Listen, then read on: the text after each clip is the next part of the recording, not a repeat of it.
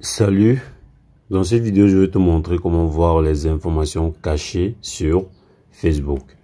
Alors déjà la première chose que tu vas faire, tu vas ouvrir Marketplace. Maintenant tu vas choisir le produit dont tu veux regarder les informations cachées.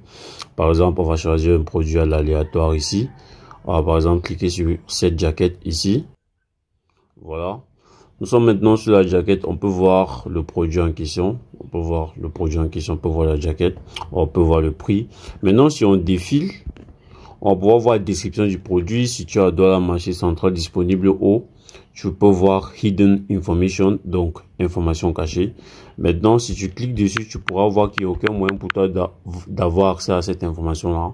Donc, pour voir ces informations cachées là, tu vas venir sur le post et tu vas partager le post et ensuite tu vas cliquer sur copier le lien. Maintenant, tu vas ouvrir ton navigateur web, que ce soit Google Chrome, que ce soit Safari, peu importe.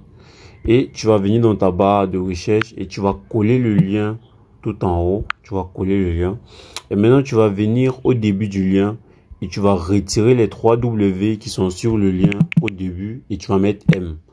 Donc, tu vas m.facebook.com et tu vas lancer la recherche. Et maintenant, cette page va s'ouvrir.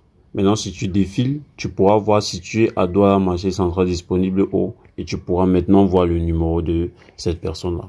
C'est aussi simple que ça.